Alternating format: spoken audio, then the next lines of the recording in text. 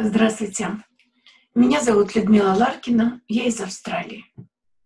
Я прочитаю стихотворение, которое называется «О таинственный берег заката». О, таинственный берег заката, О, возвышенность пения тон не хочу.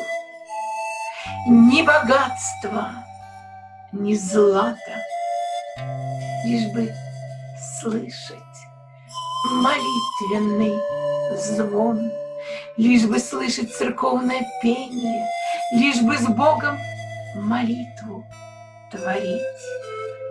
Наша жизнь не мосты из везения, а таинственность нить, как свеча. Угасают сомнения, то ли сказка, то ли явная быль. Без молитвы любое творение превращается в копоть и